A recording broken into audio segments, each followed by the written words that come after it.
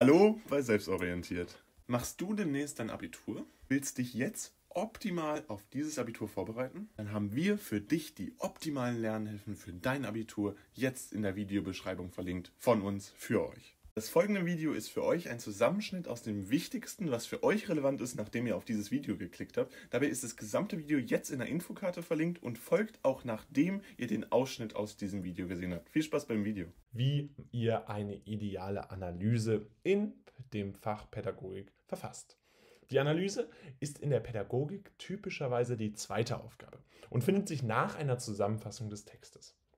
Dabei soll ein Bezug zwischen Text und bekannten Theorien festgestellt werden. Welche Informationen ihr daraus schon ableiten könnt, ist, dass es häufig so ist, dass in der Pädagogikklausur zwischen drei Aufgabentypen unterschieden wird. Die Erörterung ist für uns jetzt erstmal nicht relevant.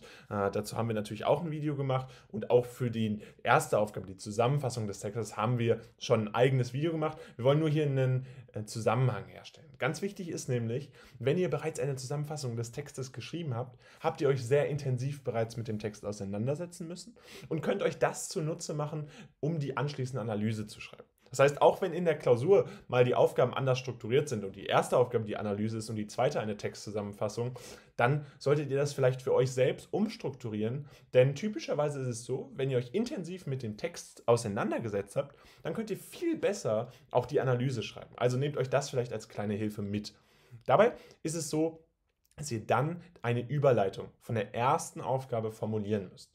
Das heißt, typischerweise, wenn die erste Aufgabe eine Textzusammenfassung ist, müsst ihr hier überleiten zu der entsprechenden äh, nächsten Aufgabe, nämlich der Analyse. Falls allerdings das Ganze die erste Aufgabe ist, das heißt, dass ihr noch keine Einleitung geschrieben habt, äh, beziehungsweise dass noch keine äh, Quellenangaben vorhanden ist, ist ganz wichtig, dass ihr die Tate-Formel anwendet. Im Fach Pädagogik solltet ihr neben Titel, Autor, Thema, Textsorte und dem Erscheinungsdatum ganz penibel darauf achten, wie die Quellenangabe formuliert wird. Das heißt, da solltet ihr wirklich versuchen, eine exakte Quellenangabe zu nennen und alles, was ihr an Quelle finden könnt, einmal zu formulieren. Das ist insbesondere von den Pädagogen sehr häufig gefördert.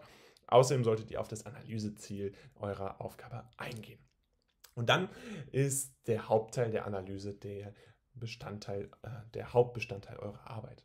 In dieser geht es darum, die Position des Autors zu analysieren. Das heißt, ihr müsst euch zum Ziel setzen, einen Bezug zwischen Text und euch bekannten Theorien herzustellen. Äh, ihr sollt also her erstmal gucken, was äh, für eine Position vertritt der Autor, die Autorin und diese dann analysieren. Dabei ist es ganz wichtig, dass er eine differenzierte Betrachtung und Einordnung des Inhaltes vornimmt. Das heißt, dass diese Aussagen, die vom Autor getroffen werden, stets genutzt werden, um dann einen Bezug zu den altbekannten Inhalten des Unterrichts äh, sozusagen herzustellen.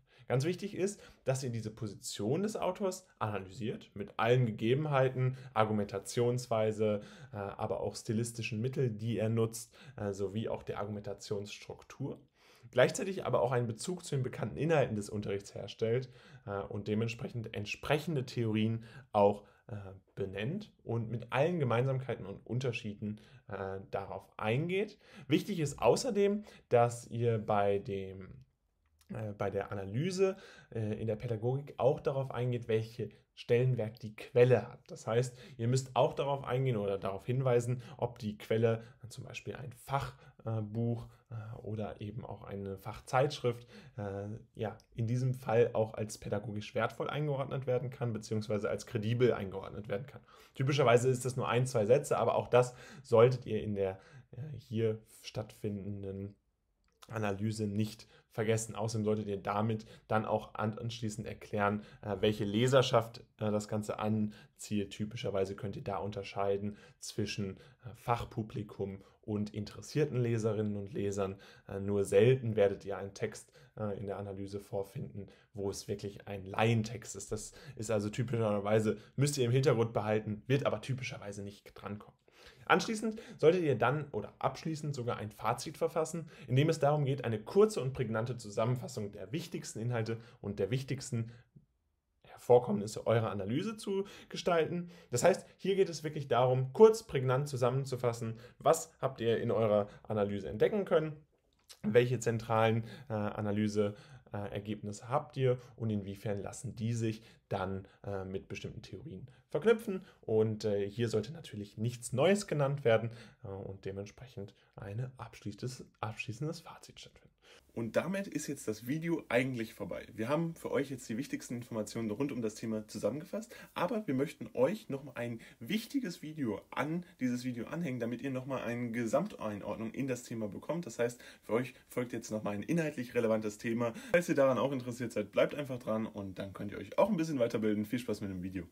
Kommen wir jetzt zu nochmal weiteren Besonderheiten, die man definitiv beachten sollte, wenn man eine äh, Klausur in Pädagogik schreibt, beziehungsweise wenn diese Analyse in Pädagogik stattfindet. Und dabei ist es ganz wichtig, dass ihr die Zitate nutzen sollt. Das heißt, wenn ihr typischerweise eine Textwiedergabe machen sollt in äh, Pädagogik ist das nicht notwendig. Hier bei der Analyse ist es aber ganz, ganz wichtig, dass ihr exakte Zitate nutzt. Das heißt, dass diese Zitate, die hier angebracht werden, auch äh, tatsächlich direkte Zitate sind. Ihr sollt jetzt nicht nur noch äh, vergleichende Zitate machen, also typischerweise ähm, ein äh, in Klammern setzen und dann VGL-Zeile 35 folgende, sondern ihr sollt jetzt hier wirklich wortwörtlich zitieren und das auch explizit einführen, damit genau die Meinung des Autors analysiert werden kann, damit die Argumentationsweise analysiert werden kann und damit die Vergleiche hergestellt werden können.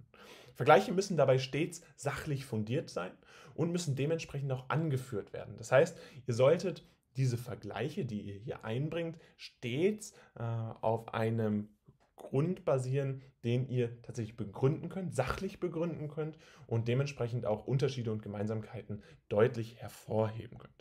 Dabei ist es ganz wichtig, dass zu diesen Vergleichen natürlich auch wieder Zitate genutzt werden und diese müssen dann sinnvoll integriert werden. Es bringt nichts, wenn ihr einfach eine Aneinanderreihung von wahllosen Zitaten in eurem Text habt, sondern es ist ganz wichtig, dass die Analyse strukturiert aufgebaut ist. Das heißt beispielsweise erst Unterschiede, dann Gemeinsamkeiten oder erst Gemeinsamkeiten, dann Unterschiede oder ähm, chronologisch das Ganze abgearbeitet wird und dann abschließend eine sinnvolle Integration dieser vorhandenen Zitate stattfindet.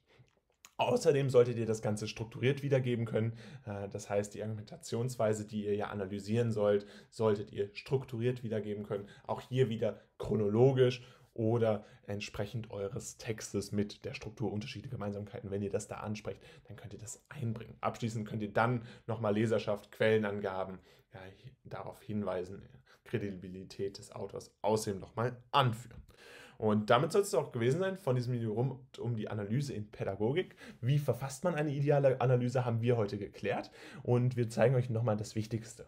Das Wichtigste war, dass ihr entweder eine Überleitung von der ersten Aufgabe nutzt oder die Tate-Formel mit ausführlichster Quellenangabe nutzt. Nutzt da wirklich alles, was ihr an Verfügung stehenden Informationen habt. Dann könnt ihr mit die, die Position des Autors analysieren und eine differenzierte Betrachtung und Einordnung des Inhalts ermöglichen. Und abschließend ist es so, dass der Bezug zu den bekannten Inhalten des Unterrichts dann stattfinden muss, äh, mit entsprechenden Theorien, Gemeinsamkeiten sowie aber auch Unterschieden.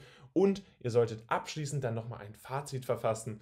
Ähm, dabei solltet ihr grundsätzlich darauf achten, dass das kurz und prägnant ist und keine neuen Informationen Teil dieses äh, Fazits sind. Ähm, versucht insgesamt bei der Textanalyse darauf zu achten, dass ihr Zitate nutzt, dass Vergleiche stets sachlich fundiert sein müssen und dass eine sinnvolle Integration der Zitate stattfindet. Und damit soll es gewesen sein von diesem Video. Vielen Dank für eure Aufmerksamkeit. Wir würden euch jetzt nochmal darauf hinweisen wollen, dass wir ein Buch zur Klausur in Pädagogik geschrieben haben. Falls euch das interessiert, ihr euch gerade aufs Abitur vorbereitet, dann ist das sicherlich eine hilfreiche Strukturhilfe, Lernhilfe für euch äh, in der Klausur in Pädagogik erfolgreich zu sein. Viel Spaß dabei. Erster Link in der Videobeschreibung, schriftliche Zusammenfassung sowohl als E-Book als auch als Taschenbuch jetzt auf Amazon verfügbar. Und ansonsten wollen wir euch natürlich auch ermutigen, Uh, unser Video zu liken, falls es euch gefallen hat. Gerne könnt ihr unseren Kanal auch kostenlos abonnieren und einen Kommentar schreiben mit Verbesserungsvorschlägen, gerne auch weiteren Themenvorschlägen. Uh, insbesondere zu, zum Thema Pädagogik haben wir einiges fürs Abitur und auch für weitergehende uh, Lerninhalte bereits bereitgestellt. Und dann würde ich sagen, sehen wir uns beim nächsten Mal wieder. Haut rein und ciao.